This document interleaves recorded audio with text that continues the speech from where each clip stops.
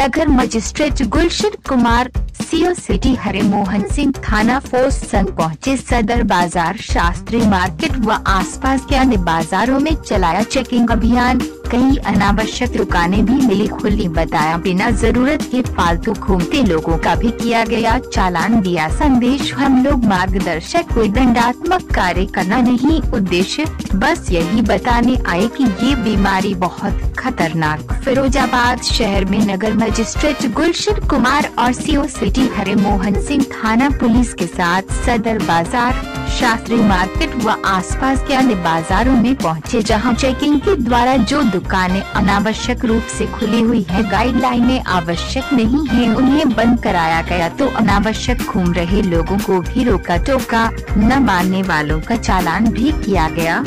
इस दौरान नगर मजिस्ट्रेट गुलशन कुमार ने बताया कि देख रहे हैं कि जो कोविड 19 महामारी चल रही है, उसका संक्रमण बहुत तेज है।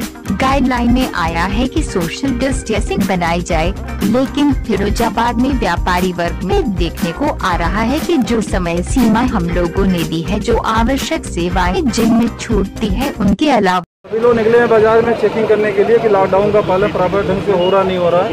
और जो दुकानें हमारी खुलने के आदेश है उसके तहत दुकानें खुलने नहीं खुलने उसी का पालन करा रहे हैं। जगह जगह लगभग कितना फोर्स है सर लेकर आप लोग निकले हैं कितना अतिरिक्त फोर्स तैनात किया गया लॉकडाउन के पालन को लेकर?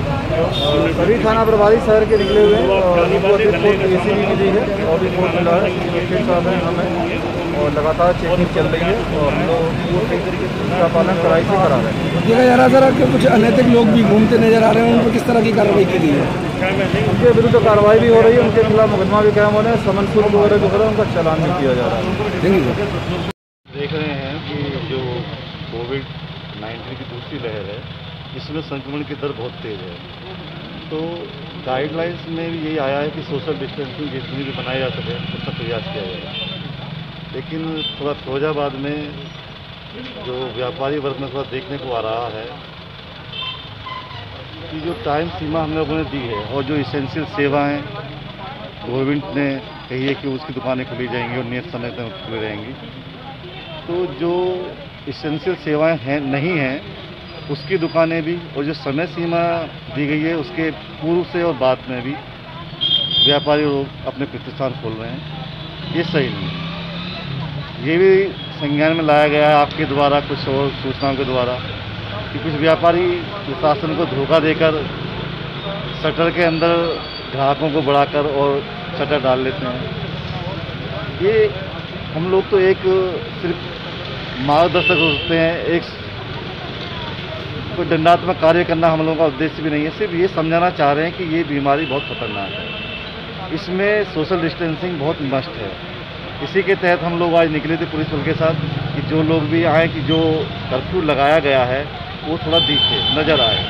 लोग सिर्फ़ और सिर्फ़ अपनी आवश्यकताओं के अनुसार ही जो आवश्यक चीज़ें हैं, उनको लेने के लिए घर से बाहर निकले और ना निकले। उसी के तहत ये कार्रवाई की जा रही है और जो अनावश्यक हम लोगों को लग रहे हैं कि बिल्कुल ही अनावश्यक घूम रहा है, उसका हम लोग चलान वगैरह कटवा कर कार्रवाई कर।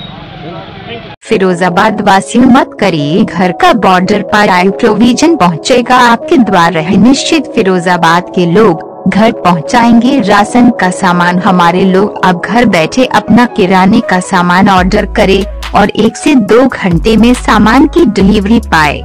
संपर्क करे आयु प्रोविज़न स्टोर मोबाइल नंबर सात चार पाँच दो ज़ीरो नौ सात नौ एक सात